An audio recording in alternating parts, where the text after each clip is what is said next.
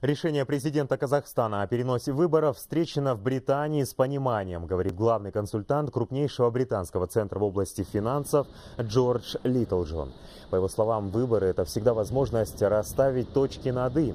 Они внесут ясность в существующее положение вещей в Казахстане, которое, как и весь мир, сейчас находится в непростом экономическом положении, заявил аналитик. С Казахстаном нас связывают очень тесные деловые контакты. Недавно во время визита премьер-министра Казахстана в Британию был подписан целый ряд двусторонних соглашений. В частности, с нашим институтом был подписан контракт на повышение квалификации специалистов Национального банка.